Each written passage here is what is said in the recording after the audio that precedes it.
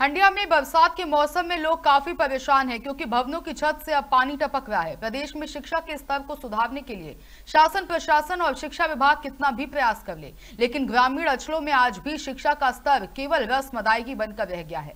आज़ादी के वर्षों बाद भी यहाँ के स्कूलों की हालत नहीं बदली। यहाँ के रहवासी आज भी शिक्षा, बिजली, पानी, सड़क जैसी समस्याओं से जूझ रहे हैं। इस संबंध में ग्रामीणों का साफ़ तौर पर कहना है की शिक्षक द्वारा लिखित रूप में भवन की दीवारें और छत के प्लास्टर गिरने की जानकारी देने के बाद भी इस तरफ़ किसी अधिकारी ने ध्यान नहीं दिया।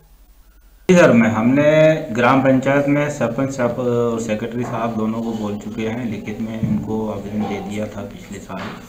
उन्होंने अभी तक इस ओर ध्यान नहीं दिया, आके और देख के चले जाते हैं। और हमारे वरिष्ठ अधिकारी भी इस बात से अवगत है, उन्होंने भी देख लिया है। और उनके द्वारा आश्वासन दिया गया है कि शीघ्र ही राशि उपलब्ध करा दी जाएगी और इसकी मरम्मत शुरू हो जाएगी। अभी तो नहीं हुई, सर, अभी होने की उम्मीद है। बोला गया है कि हाँ शीघ्र ही हो जाएगा। इसकी ज़िम्मेदारी तो मेरे हिसाब से सरपंच सचिव के द्वारा ही ली जाएगी। क्योंकि वही जिम्मेदार रहेंगे, उनको बार बार बोला गया है।